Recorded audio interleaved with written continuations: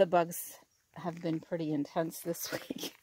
So, and it's difficult working with, um, you know, your, your bug suit on.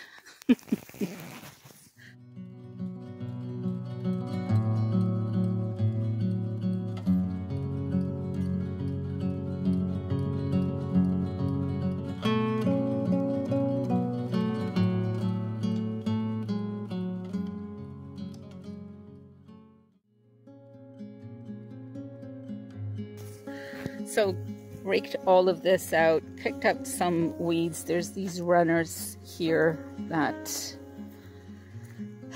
are really deep, have a deep root. So I was trying to get most of them. I think I got all that I could see.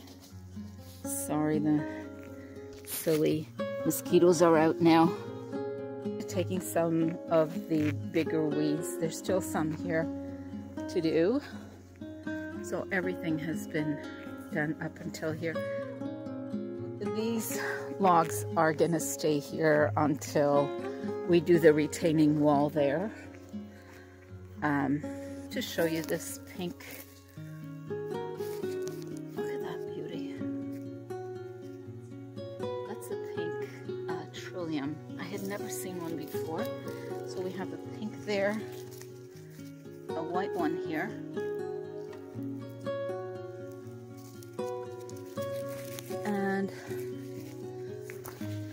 there, but it's, or burgundy, but it's kind of difficult to see.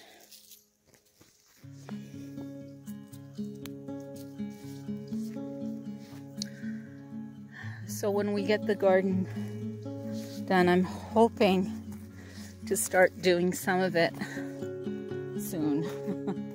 if I can get this done this year, say by mid-June, I'll put the, I'll put flowers in.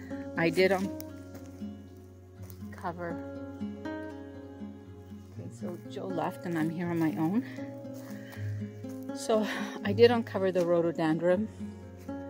I see that there's some greenery. I don't see anything yet sprouting, so I'm keeping my fingers crossed on, uh, I'm hoping that we'll get something. So I'm going to remove a top layer of the mulch from here and then just add about four to six inches of soil. And uh, don't know that I want the mulch in the garden. So I've just cleaned up up to here. So I'll do this half next next week when I'm in. So I'm just going to get rid of all of this stuff. I already got rid of some there. So this is a good two to three hours. So we've got a couple of white pine and it makes a huge mess in the fall. So we'll have to give this a good raking.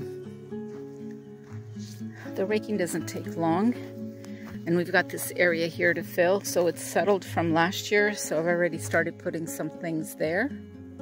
So we'll continue to do that. But from up here, this is what has been get cleaned up. We've got those one, one, two, three big piles there. But I'm so glad that this is done. This will take me a couple of hours to do. It's not a big of a deal and it's just raking that area there, there's a lot of growth coming in, just greenery. As we use it throughout the summer, it'll disappear. And then mushrooms will come up in the fall. So, yeah. The bunkie has been confirmed to arrive uh, the weekend of July the 15th. So the bunkie that we have there now um, yeah, I'm really disappointed. Uh, we're trying to sell it. Uh, we have, we've had some inquiries, but no, no one has expressed interest yet. So, um, I'm hoping that we'll be able to recover our money. If not, it is what it is. So disappointed. Um,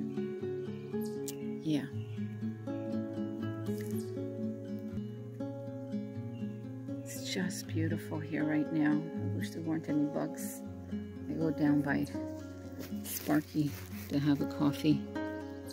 So there's a lot of nice perennials in this area here. I'm going to try and uh, move some over to that garden once it's done. There's little iris there and there. I think they're Siberian iris, but I'm not sure because they've never bloomed for us yet. So fingers crossed that I'll get a bloom this year so I know. Um, yeah, and I think I think there's um, there's some echinacea or oxeye daisies. I'm not sure. But over here, I'm just going to have one or two tiers of garden and um, yeah, they're just going to be one kind. So I'd like one row to be just hydrangeas, another one maybe just daisies with contrasting uh, foliage so that looks nice in the summer and that we get nice flowers, showy flowers in the spring or in the summer as well. But that's my goal. I don't want to have a variety of things here, just two or three. I, I think we're going to get two gardens there. And then just fill them with two types of flowers, either shrubs or um, or something that does well and is showy.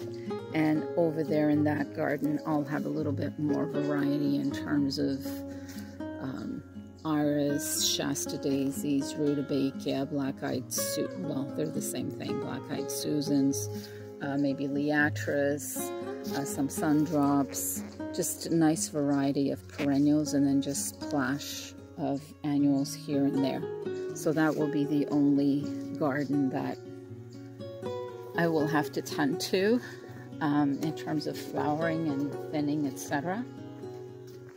Um, and then over here, really liking that little garden. I'd like it to be more woodsy. So I've got the bridal wreath. I'm hoping that the ferns will survive. I hope so. Well, I think they will.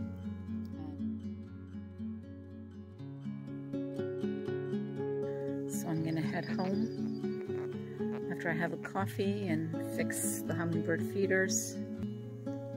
Have a good evening.